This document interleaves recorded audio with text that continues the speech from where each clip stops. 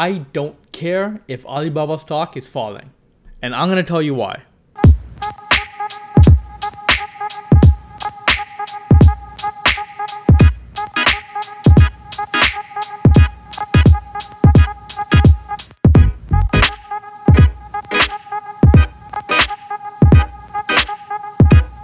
Welcome back to Keeth Talks guys. My name is Keeth and in this channel we talk about everything investment related from stocks to cryptos and beyond. So let's talk. Today I'll be telling you about why I don't care if Alibaba stock is falling.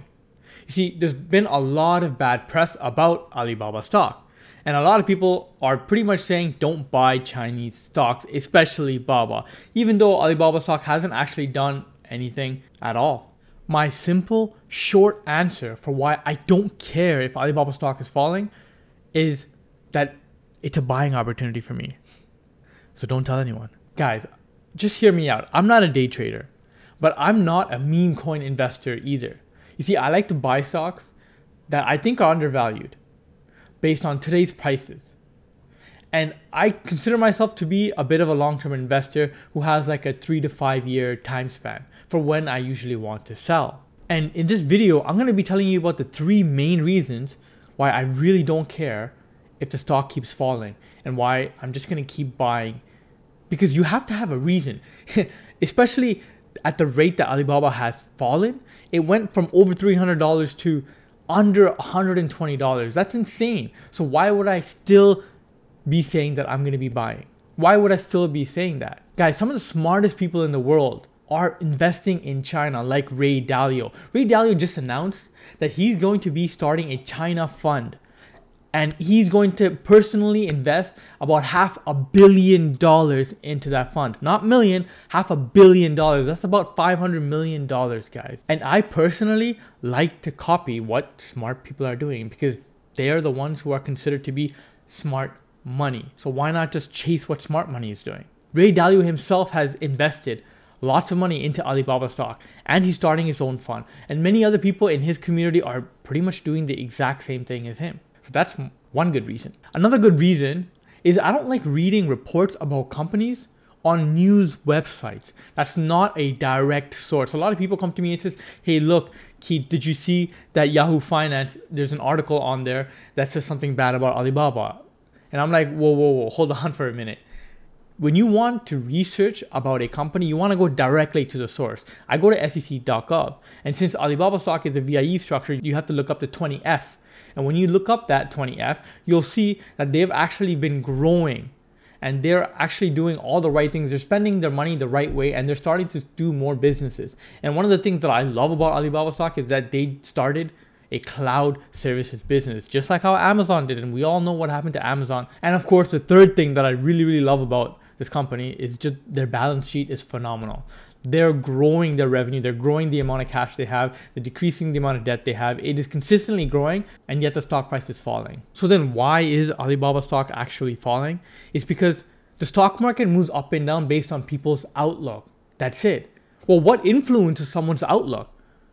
News, the media, an influencer, maybe some guy on YouTube, right? There's other people on YouTube that say don't buy Chinese stocks. Like literally all of these things that compound on top of the fact that you you had President Trump who was bashing China and fraud companies like Didi and Luckin Coffee who actually got delisted. When you com- compile these all together, then yeah, a lot of these bad news is going to destroy people's outlook on Baba stock. And this is what drove the price of Baba stock down in the last year and a half. The way I see it, they're continuing to grow. They just made $127 billion in the last four quarters.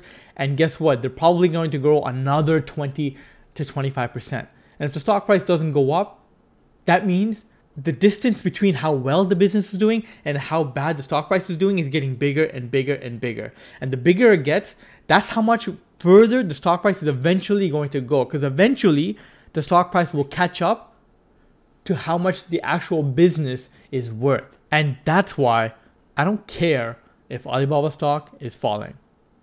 Guys, I understand that a lot of people out there are really, really nervous, especially when you see a stock falling this much.